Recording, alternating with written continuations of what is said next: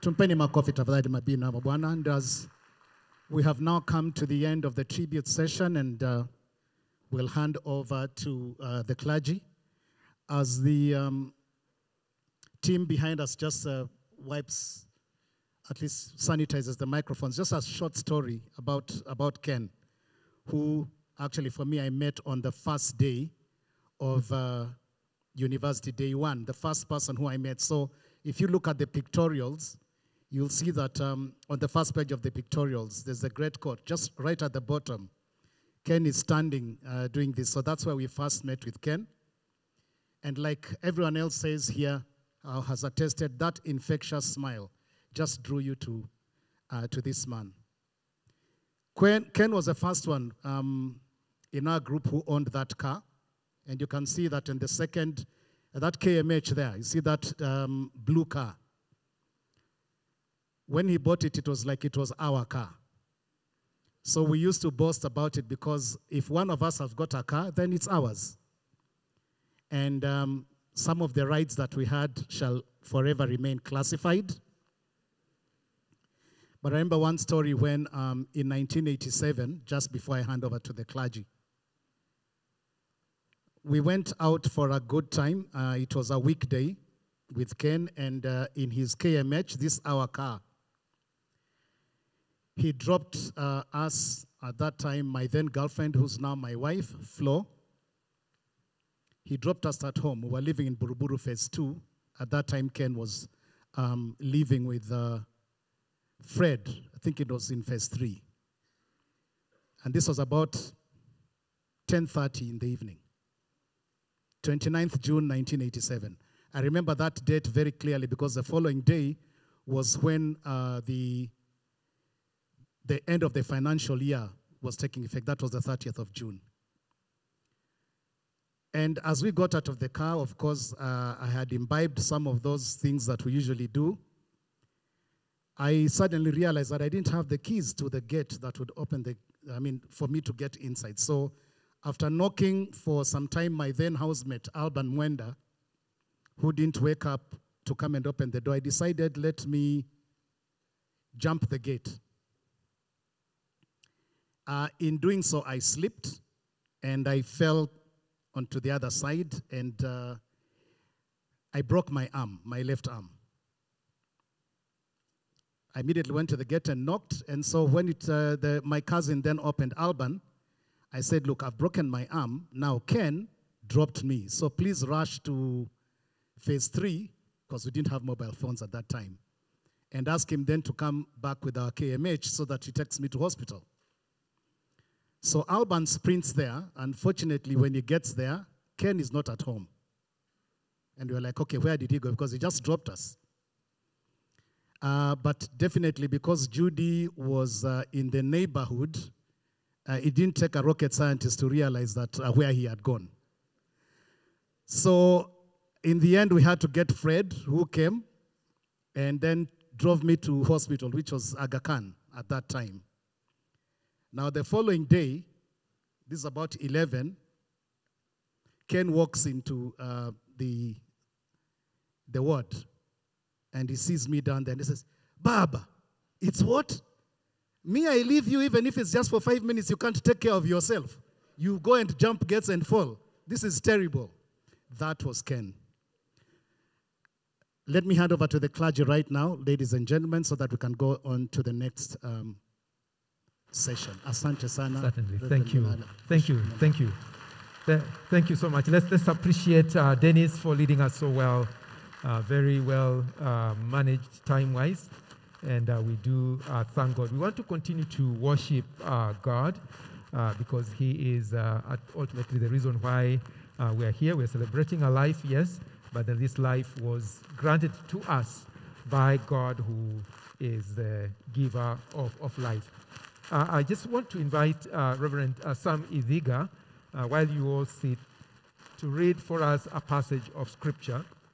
Because as we said, God does speak to us. We believe that God speaks to us through His Word, the Bible. And it's always wonderful to just keep reading His Word uh, and hearing what it is that He's saying uh, to us individually and in this case, uh, all of us as a, as a congregation. So, Sam, would you just read for us?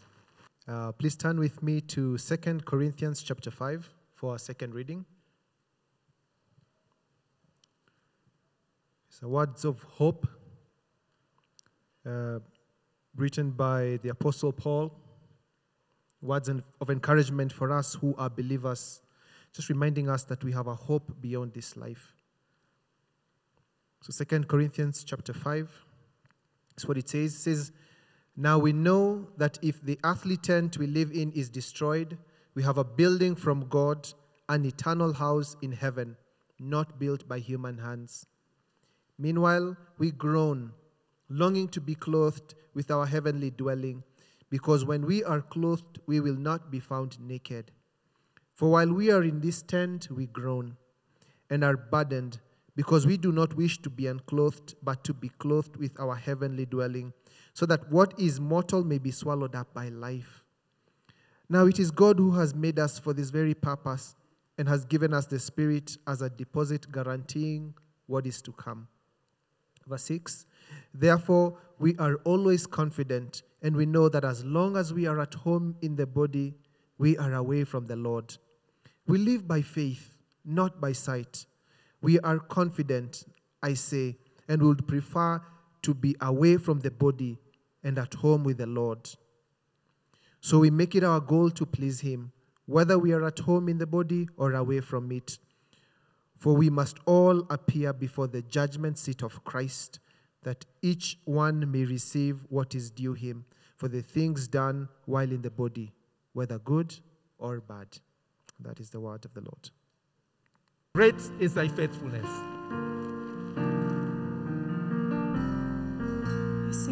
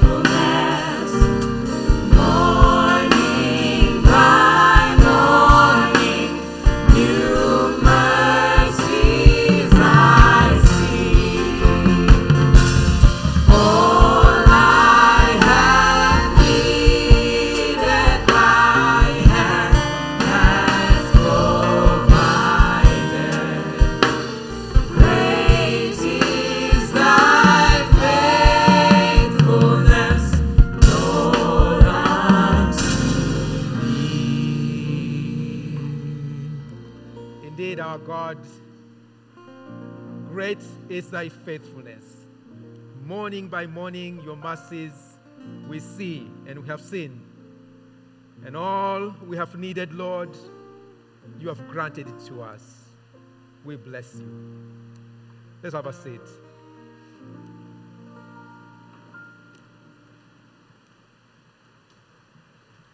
Indeed, those are beautiful words, Mama Judy and family, to remember even as we move forward that God is faithful, His faithfulness is great, and His mercies will be upon you morning by morning. And all that you will need, trust Him, for He is faithful to provide.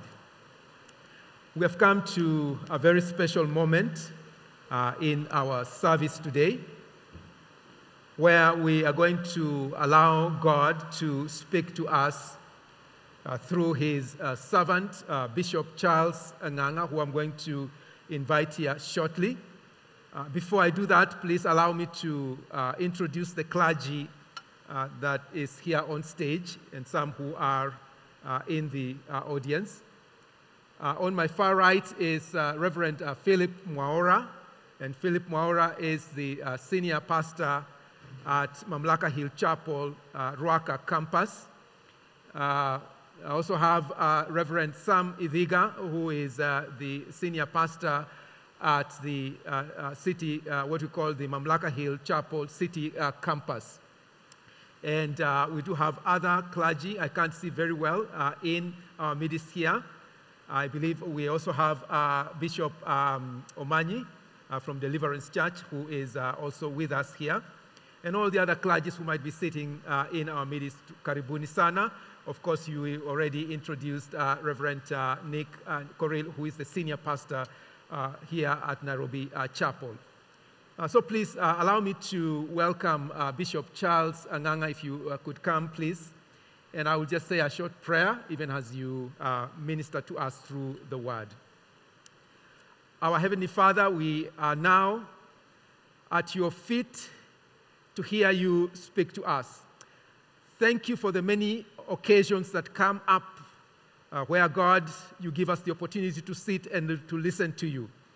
We are here. Of course, it isn't the most joyful time, but it's a time, God, when you can speak to us, when you can teach us, correct us, train us, and build us in yourself. Would you do that, Lord, now through your servant, uh, Bishop Charles? In Jesus' name we ask. Amen. Amen. Amen. Thank you. Thank you very much. Excuse me. Good morning, church. Sorry, it's already afternoon. Good afternoon. Those of you who are seated very far, we have plenty of sitting uh, close here. If you would like to be a little closer, I, I, I see like you are really far. Part of the fellowship here is, of course, to be around the family during this time in order to encourage them and to feel the warmth um, of the people that have surrounded them during this time. So if, if you're really far and, and you're wondering whether there's enough sitting, there is plenty of sitting. Um, you're welcome to come a little closer, especially as, as, it's raining, so that we don't struggle to hear each other. Um, Your Excellency, Mrs. Ruto, um, Judy, um, and the family, um, again, our sincere condolences on this uh, great loss. Um, as we come to eulogize our brother Ken, I personally have known Ken for 40 years, so I've known him for a very long time. We met him in high, we, I, we met in high school and uh, became friends from high school. Went to university together. Uh, at one point, our paths diverged as we were, you know, we got married, got children. Um, eventually, again, reconverged when um, I became a pastor and they were attending the church where I was serving. And again, you know, our friendship continued to flourish until the time when Ken was appointed uh, to be Kenya's ambassador to Germany. And he called me and he told me, Charlie, I'd like you to come and commission me. I've been appointed Kenya's ambassador to Germany. I want you to commission me as an ambassador of Christ, which we did at Mamlaka Hill Chapel City Campus he and Judy came, they knelt there, we prayed over them, And um, then they went to Germany.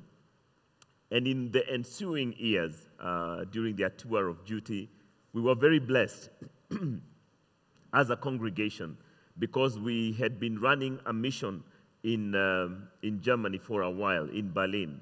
Um, but as you know, in a foreign country, you don't quite have a very good footing. But when Ken and Judy uh, started their tour of duty there, um, our ministry really got traction. And um, we, we managed to make great inroads among the youth. We still have large ministries that we run in Berlin and, and, uh, and, and Wittenberg. Um, we were not in Wittenberg then, but now we are. But because we had a, a home where we could land, uh, the missionaries that we sent, our church has younger pastors, um, could find dad and mom in Judy and Ken, and you took great care of them. Unfortunately, Colo, he, he couldn't board his plane. He turned uh, COVID positive, unfortunately. So, but the family is here, um, the children are here, and so is Jean. Um, but they love you dearly because of how you ministered to them. A lot of the teams we took there were young, and so whenever we would land there, the first place, of course, would be the embassy. We would be given a tour, an official address, and of course, Ken, in his usual way, after he's finished his official part, he would ask, Sasa mnataka ugali ama ni chapati? And then we would know we have landed. And uh, we had some wonderful, beautiful times there. We thank you most sincerely. My wife is also down with the flu, but she is watching us online. And um, thank you for being our friends and uh, for being the kind of people that you have been to so many of us. Um, yeah, we will miss Ken. I want to give a few words of encouragement from the Word of God. Um, again, in times like this, we, we, we do not seek um, a logical explanation as to why what has happened has happened. There is no logic to death. Uh, it's, it's painful. It's an enemy. The, the, the Bible says it, death will be the last enemy to be defeated. And so we don't even pretend to understand it. All we know um, on this side of uh, eternity is that it's, it's, um, it was never meant to be. Uh, it's a tragic occurrence. Uh, in fact, we call it the occurrence, the, a, a tragic occurrence of what should never have been. Uh, because God never created us for death, He put eternity in our hearts because He wanted us to live and to enjoy life and to enjoy fellowship and to be with each other.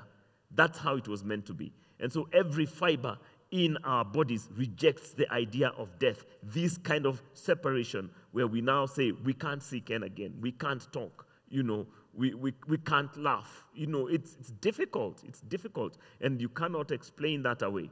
Uh, it's just um, an abortion of life that was meant to be. Um, but the Word of God does give us comfort because God is the author of life. And when He created us, He meant us to enjoy each other and to live with Him and to live with each other forever. And that's why our first parents were warned of the tree in the middle of the garden, do not touch, because on the day that you do, you will surely die. The reason he said that is that he never meant us to die.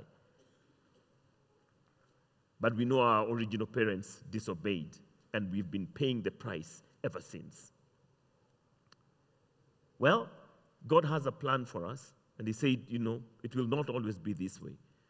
I've initiated something that eventually will lead us back to the path of my original plan, and uh, nobody can sabotage that. But a word of encouragement, um, especially to, to the family at this time. There's a small passage in Isaiah chapter 49 in verse 15 where God is admonishing his people at a time when they have gone through very difficult circumstances and they think they have been abandoned. And this is what they say in verse 14. But Zion said, The Lord has forsaken me, the Lord has forgotten me. And sometimes it feels that way in times of death, when you know that the order of things that has been set in pace cannot be reversed. And God has removed from your call the ability to reconstitute life. But God asks, Can a mother forget the baby at her breast and have no compassion on the child she has born? Though she may forget, I will not forget you. See, I have engraved you on the palm of my hands. This is God's assurance that it doesn't matter what happens, God will not forget you. He has not forgotten you, even now. Even through this transition, through these tears and pain and the grief, God has not forgotten you. He will not forget you. It's not in his nature.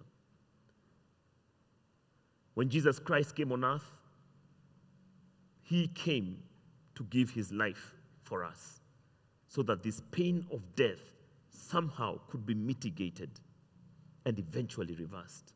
That was his mission. And so when he came to John the Baptist to be revealed to all Israel that finally a Savior had come, he went to John to be baptized. But John asked him, You come to me to be baptized? I ought to be baptized by you. And Jesus told him, No, let it be so for now, so that we can fulfill all righteousness. And so John knew this guy is the Son of God. He had identified him. He said, Behold, the Lamb of God who takes away the sins of the world. And the only way he could do that is that himself he was sinless, not deserving baptism or death for that matter, because the wages of sin is death. But how does he who has never sinned then die? But he baptized him because he insisted. And in that, God confirmed, This is my son whom I love. Listen to him, because in him I'm well pleased. So he came to chart a path for us so that our future could look different. After that, he went to the desert. He was tested by the devil 40 days, 40 nights. Came back. He went to the synagogue, as was his habit. He was handed the scroll of the prophet Isaiah, and he opened it to the place that spoke about his mission. He was quoting Isaiah 61. The Spirit of the Sovereign Lord is on me, because the Lord has anointed me to preach good news to the poor. He knows a lot of news that we receive as humanity in our daily experience is bad news. News that is depressing. News about pandemics and deaths and disease and strife and conflict. All manner of news. That's the condition of human existence. There are little glimpses of laughter, like what we have been able to share. We enjoyed with Ken.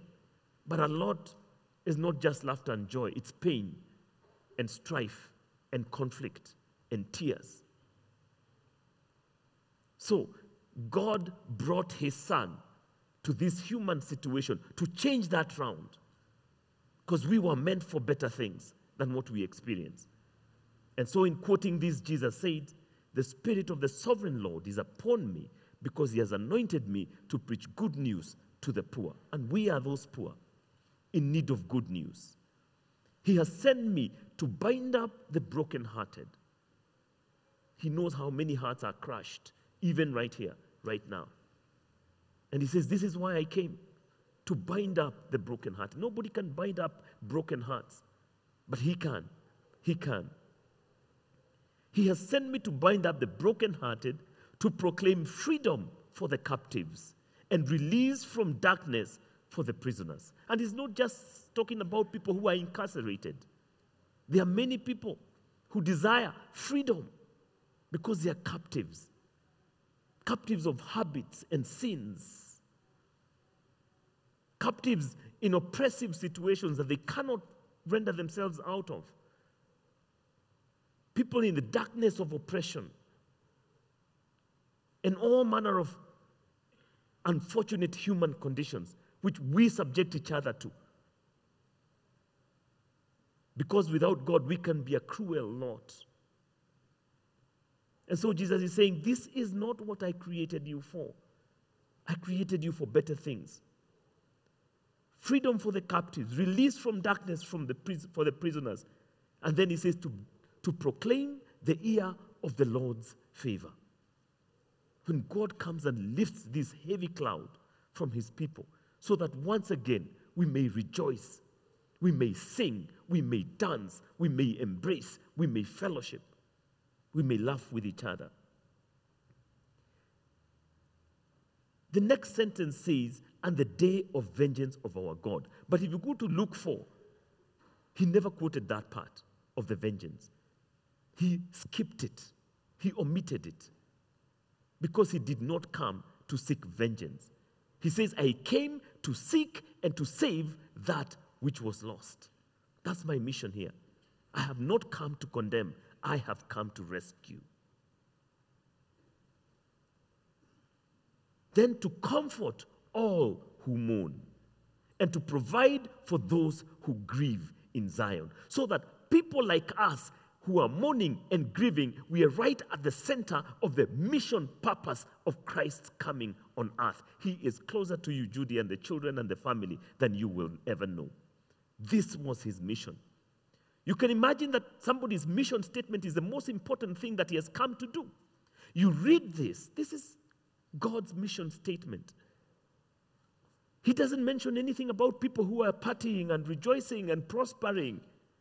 He just mentions about the brokenhearted, those who are grieving, those who are in pain, those who are in the margins of life.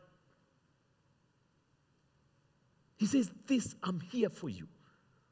Because I know how difficult it is to live on this earth, feeling insignificant, feeling oppressed, feeling sad, feeling depressed. I came to lift this cloud. That's my purpose.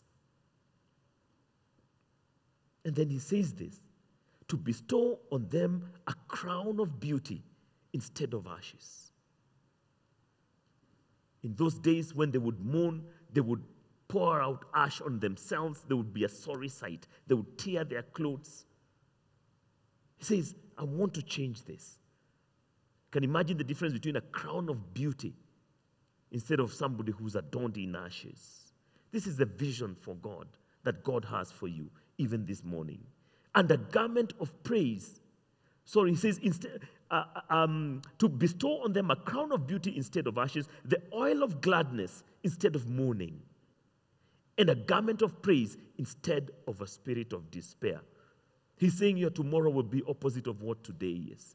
He's able to do that. He's, he's been in the business of turning those disastrous Good Fridays, Christ on the cross, to glorious, beautiful Easter Sundays when you rise again in glory, in power, and in beauty. This is God's mission for you, even now. You may not feel it now, but this day is coming when He is going to do this divine exchange, when He will take your sorrow, take your tears and your sadness, and bestow a crown of beauty on you, bestow a, a garment of praise on you, the oil of gladness instead of mourning.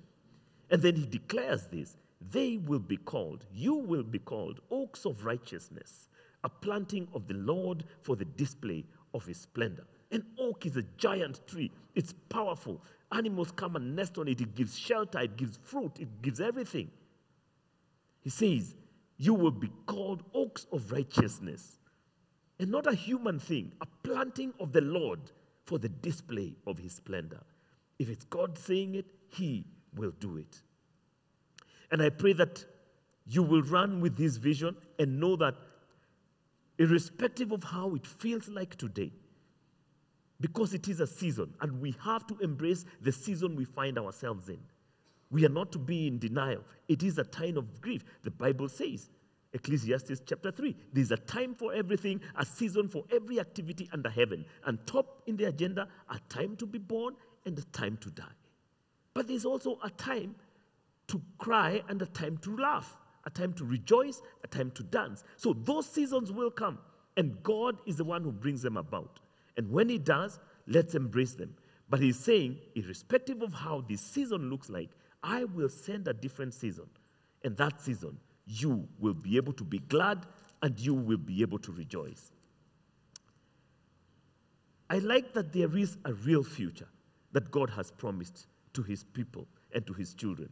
And this future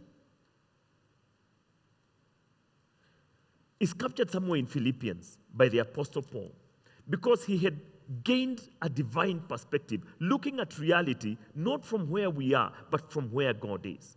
And from where God is, even what looks like a failure of life can be exactly the opposite. Paul was incarcerated in a Roman jail, and he did not know whether he will survive that part of imprisonment. He thought he would die there. But it's interesting that in the book of Philippians, he keeps writing many times the word rejoice. Rejoice in the Lord. And again, I say rejoice. And you wonder, are you the guy to be rejoicing? You are in a jail, in a dungeon somewhere. You might not even survive this. You might die here. But his attitude is that he had learned to look at life from God's perspective. And he says this in Philippians chapter 1 and from about verse 19 Yes, and I will continue to rejoice, for I know that through your prayers and the help given by the Spirit of Jesus Christ, what has happened to me, that is the unjust incarceration, will turn out for my deliverance. And this is what he says I eagerly expect and hope that I will in no way be ashamed, but will have sufficient courage so that now, as always, Christ will be exalted in my body, whether by life or by death. So for him, both options, as long as God is glorified, he was fine with them. He's saying, um, I know I will not be ashamed. Either way, if it turns out that I survive, well and good. If, if it turns out that I die, has Christ been exalted? Mission accomplished. And it's a perspective that God wants us to have on this side of eternity. Why? Because we are pilgrims, we are on a journey. None of us can hold on to this life. In fact, they say none of us comes out of this alive. We do die, physically at least. But thanks be to God that we know to be dead in the body will mean to be alive in Christ and in the Spirit. Then he says these significant words that we know well. For, for, for to me, to live is Christ, and to die is gain. To live is Christ, and to die is gain. That's an equation that we need to slowly sink into our hearts. When we can actually say, as believers, that to die is gain. And why does he say this? If I am to go on living in the body, this will mean fruitful labor for me. I will live like a man with a mission because I know I'm here only for a short while, then I'm gone. So I want to accomplish the purpose for which I was called. Yet, what shall I choose? He reaches a point where he can't choose between life and death. What shall I choose? I'm torn between the two. I desire to depart and be with Christ, which is better by far. This is a man with a mission. He knows where he's going. He's a pilgrim here. This is not the permanent home, it is not what was promised. Christ says, I'm going to prepare a place for you. And when I'm done, I'll come back for you so that where I am, there too you may be also. He says, I'm going to restore paradise. Remember what our original parents lost in Eden? I'm going to restore it. And once I do, I will come for you so that where I am, there too you may be also. Therefore, to live with perspective on this side of eternity is to know that we have a short window here to live well to make peace with our Maker. Because ultimately, when we are done here, the Bible tells us, remember your Creator in the days of your youth, before the days come when you find no pleasure in them. And then he goes on poetically to talk about all the things that will happen. And then he says, and the dust returns to the dust that it came from, and the spirit to God who gave it. At that point, you want to be in good terms with the one that you will spend your eternity forever with God Himself, who has gone to prepare a place for us. And so Paul will live like a man with a mission, knowing after my mission is accomplished, I will exit. And when I exit, I want to be able to say with confidence, like Ken has written here, I have fought the good fight, I have finished the race, I have kept the faith. I can exit unashamed. Now there is in store for me the crown of righteousness, which the Lord, the righteous judge, will award to me on that day, and not only to me, but on all those who have longed for his appearing. You, you and I should be able to say those words with confidence. And those who are speaking during our own interment should be able to have a good degree of confidence that because we knew how you lived, then we can say with certainty, we know that it is well with your soul, therefore we are at peace with where you are. Since we can't prevent you and we can't keep you here by force, even if we wanted to. If there's anyone who would love Ken to continue being here, obviously it's Judy and the family. They want him here. We want him here. But that's not our call. So as we bow down to the one who has authority over life and death, let's make sure that because we will have to give an account to him, then we are in good terms with him. The text that was read to us earlier on by uh, one of our senior pastors here said that now we know that if the tent, this body that we live in, is destroyed, we have an eternal home made by God, not by human hands. So we know that we are in a temporary shelter, a temporary dwelling that is not permanent. And one day it will be destroyed. But not you. You will be somewhere else. You, you simply relocate to your eternal home. But, but that relocation is dependent on the permission that you receive from the one who created you. If you pay him homage and honor and lordship, then he will uh, welcome you into his eternal dwelling. This is his dwelling too, even though this is not the realm on which we obey him many times. But if you do obey him on this realm, then he will welcome you and I into his eternal dwelling. He says this I'm torn between the two. I desire to depart and be with Christ, which is better by far. But it is more necessary for you that I remain in the body. Convinced of this, I know that I will remain and I will continue with you um, for your progress and joy in the faith, so that through my being with you again, your joy in Christ Jesus will overflow on account of me. In other words, in his perspective, he will settle for the inconvenience of being able to continue being alive for their own encouragement in the faith. But if you are to ask him, I prefer to depart and be with Christ to die, which is better by far. And it's a powerful message when you think about it. That these are the perspectives with which we should be living life here on earth.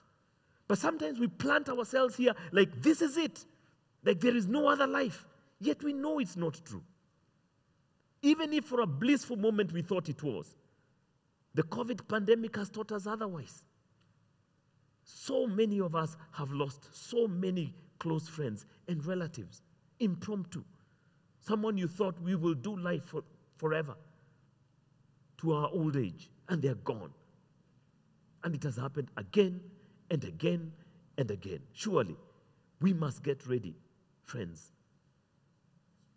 Even as we mourn our beloved Ken, let us not think ourselves immune to the scourge of death.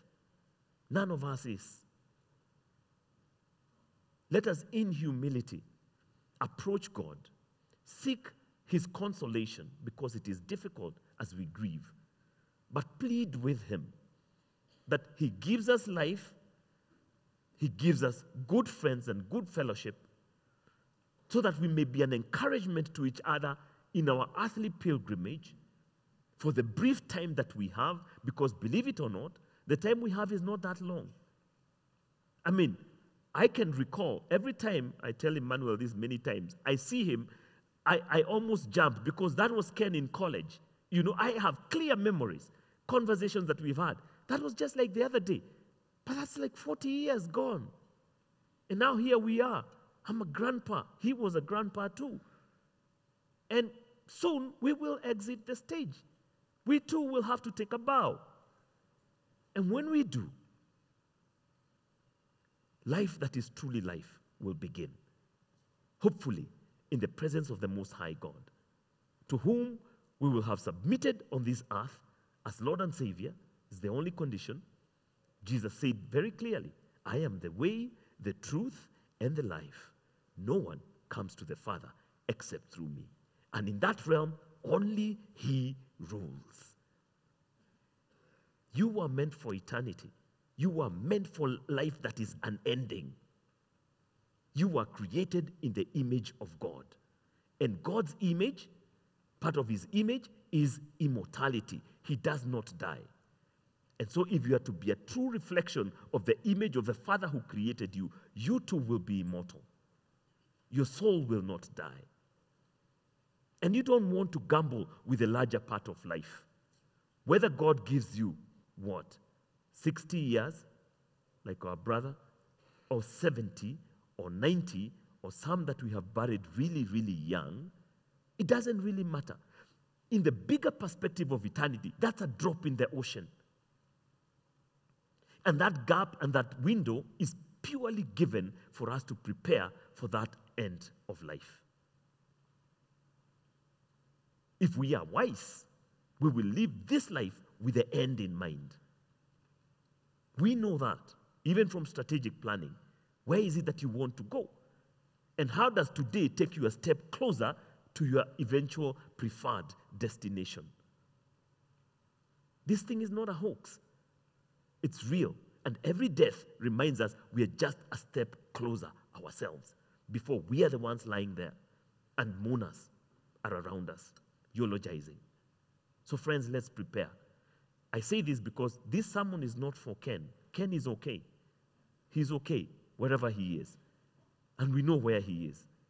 He made preparations already. And so he has been received by the Lord that he trusted. He has heard the, the words Welcome, good and faithful servant. Welcome into the kingdom of your Father, prepared for you before the foundations of the earth. So his matters are settled, and he's fine. You want him to come back? He wouldn't want to. But he would like us to join him where he is. So this is not for him, this is for us. Because we have the opportunity to make the decision now. And if we do, oh my goodness, then life is worth it. And whatever it is that we face on this side of eternity, we can weather it. Even the grief, we will cry through our tears, but we will smile because we know the grave no longer has the last word on our lives. Because the one who saved us conquered the grave. He became the first fruits from among the dead, the first one to wear the resurrection body, indestructible. A body in which you cannot sin, you cannot age, you cannot die. And we will meet him in that state. And he promises us the same package. The first fruits is an example of the other harvest that is coming. We are that harvest if we trust in him. And at the last trumpet call of God, we know what the Bible tells us what will happen on that day.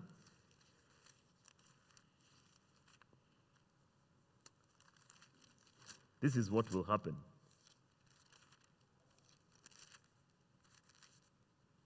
Brothers, First Thessalonians, and sisters, we do not want you to be ignorant about those who fall asleep.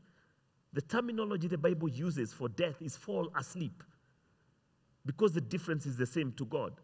When Lazarus was dead four days and they were afraid that the body is beginning to smell, he didn't care. He said in a loud voice, Lazarus, come out. It's the Logos, powerful spoken word of God that creates life. We call God the creator ex nihilo, the one who creates out of nothing. The words form what he desires. Lazarus was dead four days, it didn't matter. He heard the voice of God and he came out, wrapped in all those death clothes, and wrap him and give him something to eat. He was alive. So, death is just a nap in God's eyes. That's the power, the creative power of the God that I'm endearing you to. Brothers, we do not want you to be ignorant about those who have fallen asleep or to grieve like the rest of men who have no hope. Friends, without God, there is no hope. He's the only one who can help you navigate through this life. He knows the day that I will die. He knows. I don't even know that. He knows it. He says, every day that was ordained for your life was written in his book before one of them came to pass. So, this is real life. We believe that Jesus died and rose again, and so we believe that God will bring with Jesus those who have fallen asleep in him. What to underline is asleep in him. That equation is what makes the difference. That you are in him. According to the Lord's own word, we tell you that we who are still alive, who are left till the coming of the Lord will certainly not precede those who have fallen asleep. For the Lord himself will come down from heaven with a loud command, with the voice of the archangel, and with the trumpet call of God, and the dead in Christ will rise first. That's the resurrection. It will be a phenomenon to behold. You who have been, some of you who have traveled to Jerusalem know that most of the Jews have come from all over. And, and just outside the, the, the Mount of Olives, they, they have bought expensive graves and they are buried there. They want a front row seat to the resurrection when Jesus returns. Literally, that's what they have done. The dead in Christ will rise first.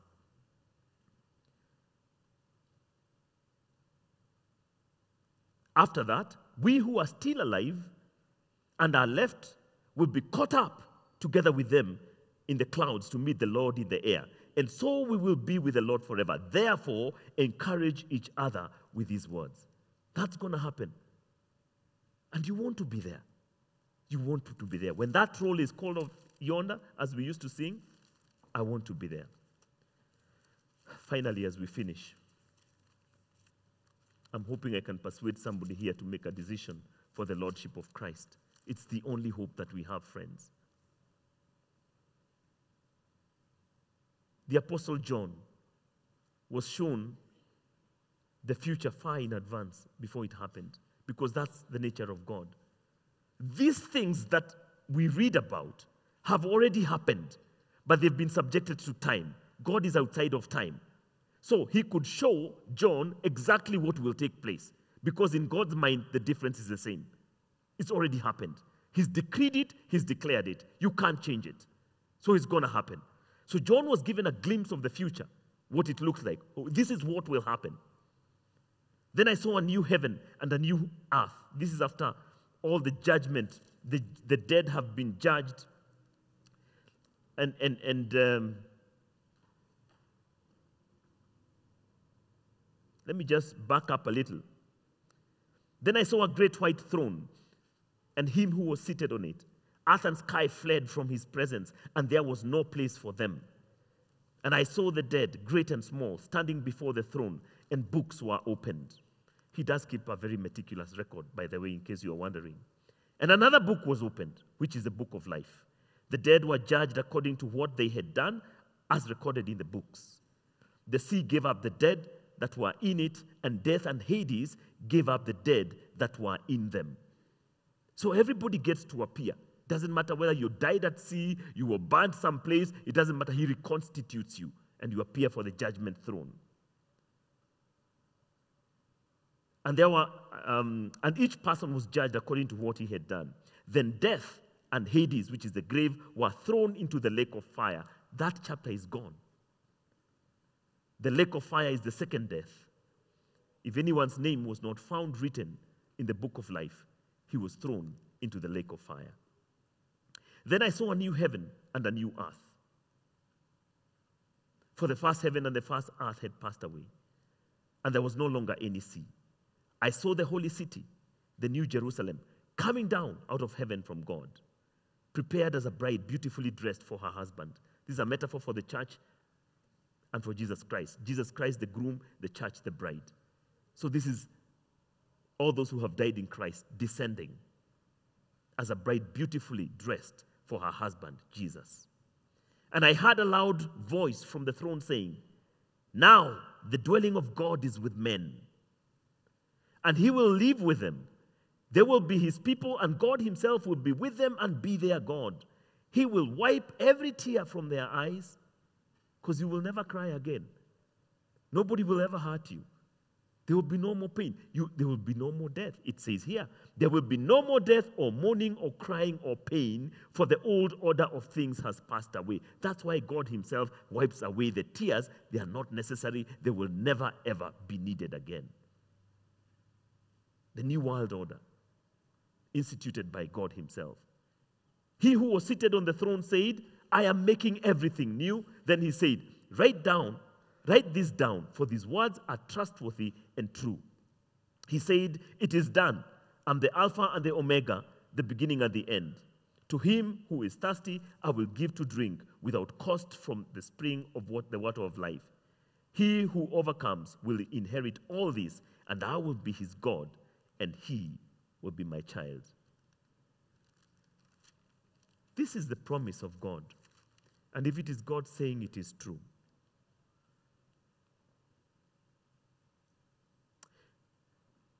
he went on to show him something else. He says, I did not see a temple in the city because the Lord Almighty and the Lamb are the temple. The city does not need the sun or the moon to shine on it, for the glory of God gives it light, and the Lamb is its lamp. The nations will walk in its light, and the kings of the earth will bring their splendor into it. On no day will its gates ever be shut, for there will be no night there. The glory and the honor of the nations will be brought into it. Nothing impure will ever enter it. Nor will anyone who does what is shameful or deceitful, but only those whose names are written in the Lamb's book of life. They will see his face, and his name will be on their foreheads. There will be no more night. They will not need the light of a lamp or the lamp of the, light of the sun, for the Lord God will give them light, and they will reign forever and ever. The angel said to me, These words are trustworthy and true. The Lord, the God of the spirits of the prophets, sent his angel to show his servants these things that must soon take place. This is how it ends, friends. And this is for our benefit. That we may make a decision that informs the future, the preferred future that we want to live. For now, we say goodbye to those who have departed. We say goodbye to them as those who have hope. We will see Ken again for those who believe because he's in the presence of God. In fact, like somebody once said, when you hear the report that I'm dead, do not believe it because now I'll be more alive than I've ever been. And we know that in the presence of God, not only is he alive, because God is not a God of the dead, he's a God of the living. And that's why people like on the day that Jesus was being encouraged before he went onto the cross, the prophet Elijah appeared with Moses. They had died thousands of years ago, but they were there encouraging Jesus to march on into the cross because he is the God of the living, not the God of the dead. Those who die in Christ are more alive now than they have ever been. May the Lord bless you. May the Lord keep you. May the Lord give you the courage to make the right decisions. May the Lord encourage you not to gamble with your eternity, not to gamble with your future. Even in business, we make calculated risks. How much more with your life? All of your life, it's all ahead of you. And I said, even if you die at 100, it's a drop in the ocean compared with the eternity that is waiting for you. Invite this Jesus. He's good. He loves you. He created you in his image. And he wants you to live with him forever in eternity and not to face judgment.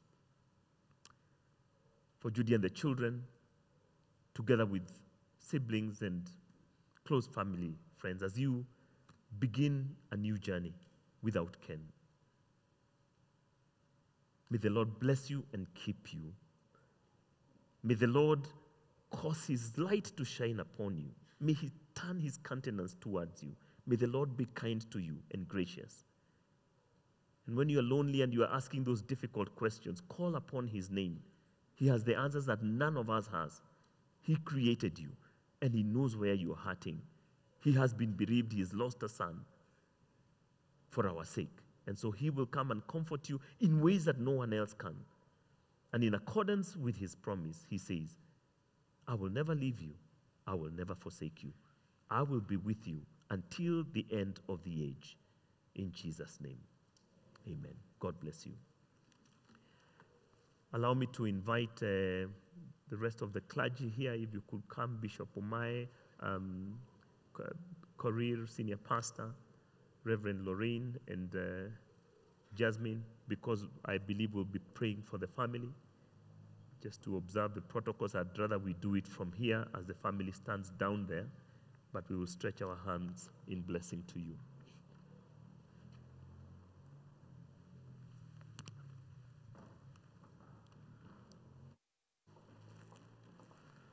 So um, let's have the family just stand, if you could.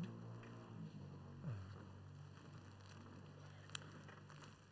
the rest of us can sit down, but you can uh, raise your hands if you want towards the family as we pray. Uh, we're going to have uh, Reverend uh, Nick Korir uh, pray first, and then we'll have uh, Reverend Sam Idiga uh, close in prayer. And all of us, clergy, let's all agree with, uh, with these uh, pastors as they pray. Father, we thank you for such encouraging words from the scripture that we are made for eternity. Thank you for unfolding your purposes for our lives to be with you forever and ever. Thank you for revealing to us your love for us, your deep love that you would send Jesus Christ to die on the cross, to rescue us from the path of death, and to redeem us to the path of eternity. Father, today we stand under the banner of that hope, the hope that Jesus Christ purchased for us by his death and resurrection. That today he can say, I am the resurrection and the life. And we share in that same victory. And we know that your word says, absence from the body is presence with the Lord. And today, as we pray, we pray with full confidence, knowing that Ken is in your dear presence. Father, we now want to stand on behalf of those that Ken loved, those that Ken served, and those that Ken invested his life in. Each and every one of us that is here to mourn his death, but also to celebrate his life. Father, we come together today specifically to uphold his family. We recognize the depth of pain. We recognize the pain of the separation that they're experiencing right now. And we want to stand with them and declare that you are truly a rock that is higher than them. Father, would you enable your word that says that your grace is truly sufficient? May your strength be made perfect even in their weakest point. We specifically lift up Judy to your able hands and pray that, Lord Jesus, even in the depths of her grief, she will find a place of hope, she will find a place of encouragement, and ultimately a place of healing because you are our God. Your word says that, Father in heaven, you can bestow upon her a peace that transcends all human understanding. We confess that peace over her heart and her mind in Christ Jesus. We pray that you become an anchor, a rock, a refuge, and we pray that she will not be shaken. She will be anchored upon you, and even in this absence, that truly your presence will be clear and evident. Father, we commit Wangechi, we commit Stephanie and Yvonne, we commit Emmanuel and Bradley, and we recognize the place of these children, recognizing that Father in heaven, even though their earthly father has departed to be with you, you are ultimately their heavenly father. Would you stretch out your arms? And your word says in the book of Corinthians, you're the father of compassion, you're the God of all comfort. May these children experiencing, may they experience those comforting arms of our God and our King, those assuring arms of our great God. May these children continue to recognize you as their ultimate heavenly Father and continue to thank you every day for the earthly Father that you gave them, that they have truly paid tribute to today. So, Father, we commit not just the immediate family, we commit Ken's siblings and the extended family that is here. We commit his dear friends and colleagues that are here and pray that that banner of your strength, that banner of your peace, that banner of your great goodness will continue to hold them and to uphold them throughout this season. So we declare this family is in your hands. We declare this family is lifted up by you. We declare this family will not fear, for you are with them. They will not be discouraged because you are their God. You will strengthen them and you will continue to uphold them with your victorious right hand. We now dedicate Ken Osinde's family, his friends, his colleagues, and this entire community of faith that is gathered here to you in the name of God the Father, God the Son, and God the Holy Spirit, we pray. Amen. Continue to commit this family before the Lord. Lord, we know that you have said in your word that you are close to the brokenhearted and you bind up those who are crushed in the spirit. And so, Lord, remember these ones, your children, Lord, at this time of grief. We pray, Lord, that you would make true your promise For you have said, Never shall I leave you, never shall I forsake you. Even as they go about, uh, Lord, all the plans to lay uh, dear Ken to rest, God, we ask that your presence would be felt. We pray, Lord, that they would see your hand, even as you are comforting them, even as you are guiding and ordering their steps, that they will not feel alone. Lord, that they will know that you are there to cheer and to guide. So remember them, Lord, we pray. And for you, the family, we want to just pray these words of Psalms 20 over you. May the Lord answer you when you are in distress. May the name of the God of Jacob protect you. Judith, may he send you help from the sanctuary and grant you support from Zion. To the entire family, may he remember all your sacrifices and accept your burnt offerings. May he give you the desire of your hearts and make all your plans succeed. May we shout for joy over your victory and lift up our banners in the name of our God. May the Lord grant all your requests. May the Lord remember you even now and forevermore. In Jesus' name we pray. Amen. Thank you. Thank you. You may have your seat. Thank you. Thank you, uh, Bishop Richard Munala. Tuwapeni makofi tafadhali mabibi na mabwana. Right, so um, as we come to the end of the uh, service, we are cognizant also that um, not all of us will manage to travel to Nakuru. And so um, the family has granted us a request that we'll have a short viewing session. So for now, let me invite um, Jeff, my elder brother, to come and then give a vote of thanks on behalf of the family. Jeff. Uh, I am Ken's elder brother. Um, Ken was extraordinary to me. He was, he was more than a brother. I never called him Ken. Never did he call me Jeff or Duke, like some of them call me. But we had, uh, let me take this off. We had a special relationship with Ken, a dear friend. From the world of literature, from the world of literature, which we used to inspire ourselves a lot, because we used to like a lot of good works of art, and we used to talk a lot about various uh, authors, various books, because we used to admire ideas, ideas of great men, ideas who could, which have been put together by people who could think louder than people are ordinary. So I remember Ken dearly. Always, when we're meeting in my house or his house or out there, we just call each other kamonta kaminto. Kamonta kaminto mbuyole. Abantu mbuya bali mbuyole ntabantu. Mbuya mbuyo baragiriti. Kind of. Are you, are you feeding them well? We're so very dangerous. Are they dying of hunger because you are not providing for that? So Ken was a love of people, a love of jokes and about ourselves, our other brothers.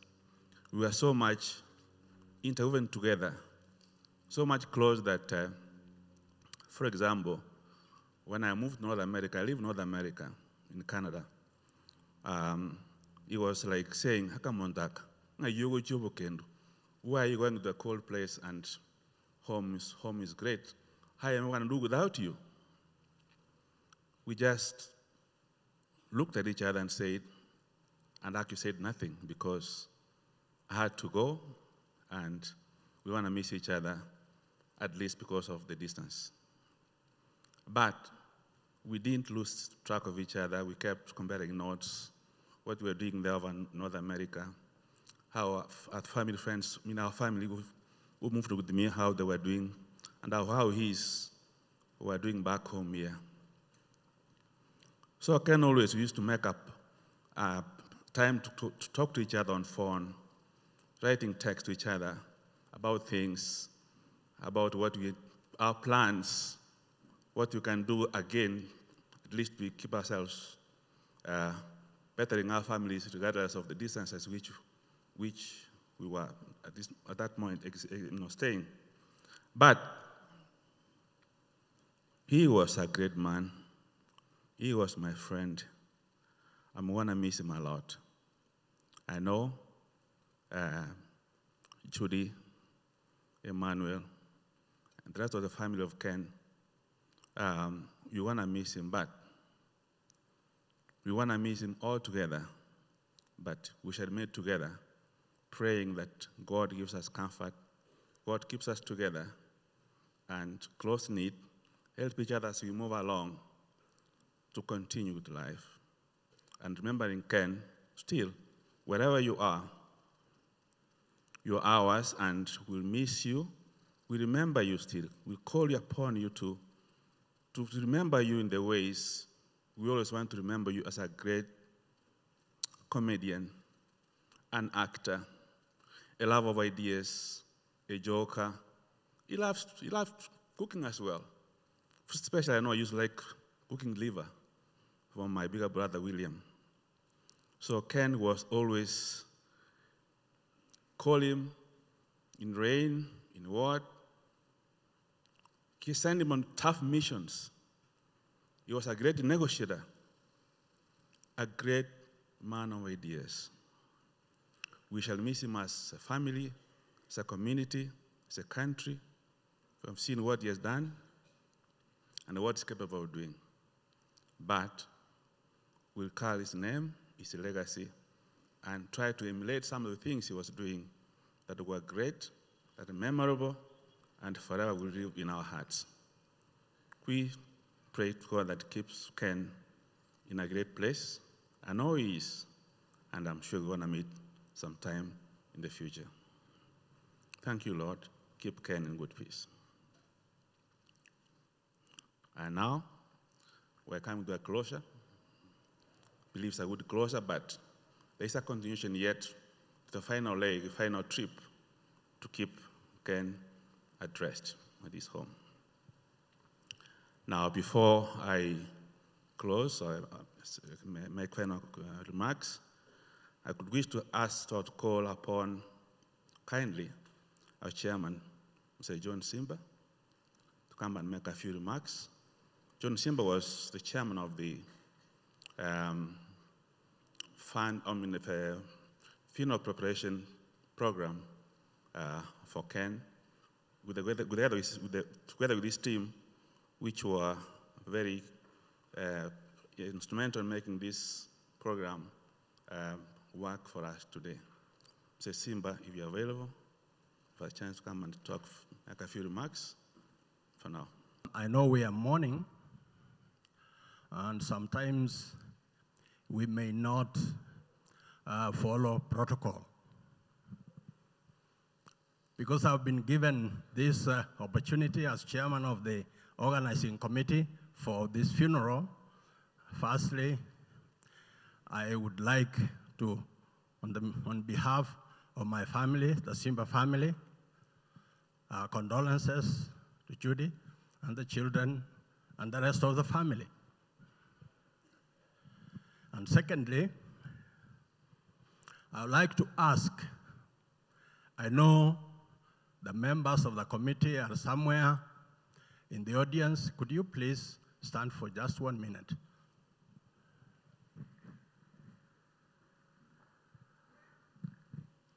Thank you very much. This is the committee that has organized uh, this last phase of our brother's journey.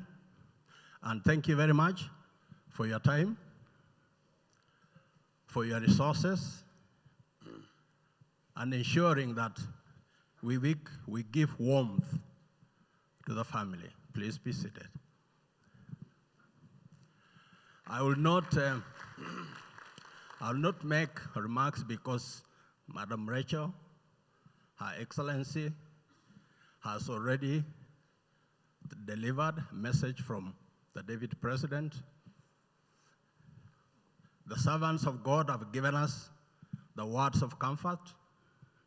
And so for me, although I've known Ken all his hard adult life, and he worked for me at National Bank, there's so much I could talk about him. But for today, for me, may he rest in peace. Life is a lesson. So, all of us, whatever we learn from his journey, memories that we hold dear, let's hold those.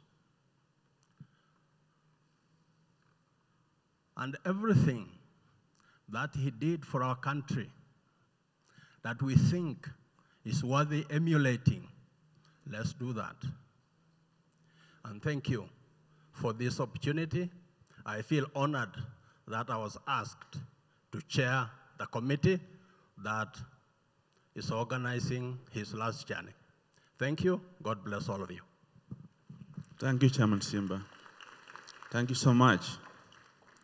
Um, now, friends and uh, and uh, our family members here, um, uh, in the for, for the for the closure, and uh, uh, in debt, I'm in debt the following friends and organizations that were instrumental, I see instrumental in making the Ken, uh, Ken's final journey to his final resting place. So I'll go by mentioning the names that I know have been uh, making, uh, making the preparations uh, or taken part in this, in these arrangements. First, I want to remember the Nairobi Chapel for allowing us to use this space for this occasion of um, uh, giving praise to God for giving us Ken. And um, then Ken's committee, funeral committee, to just to name a few, uh, Mr. Pius tomorrow should be in this, in this congregation. Dennis Kashero has just been talking to us here. Uh, and then uh, Ken Omanga as well, uh, friends Charles Nyachai, and, uh, and overall, Mr. Simba, who was the lead in making this a, committee get together and discuss all the arrangements that we're enjoying at the moment and going forward, final day when we put Ken to rest. Uh, our friends in Nairobi who have, who have provided moral support and prayers to comfort our hearts, and particularly Judy, Emmanuel, and the rest of the siblings of Ken. Um, and um, Emmanuel, Bill Moore, will mention the names anyway, Wangechi. And once again, uh, thanks to all of, all of you for getting time to come. The journey continues until 23rd of this, of this month, actually this week, when we finally have Ken resting at his home in Nakuru. Thank you so much for now, friends, for coming and farewell, and we see each other again in the process. Thank you so much. We'll drive home safely, and we see again each other soon. Thank you so much. Thank you.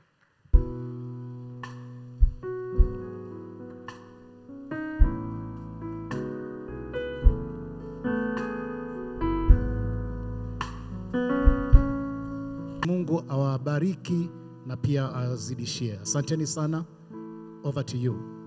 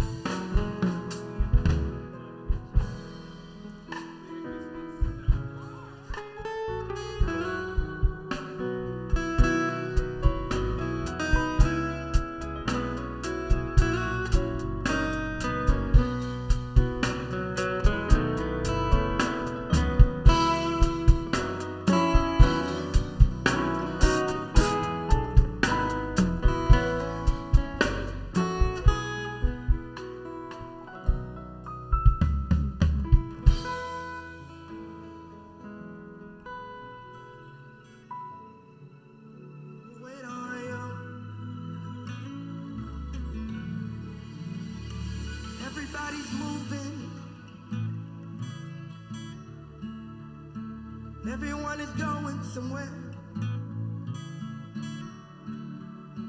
With everything they're trying just to make it to a place where I am not there.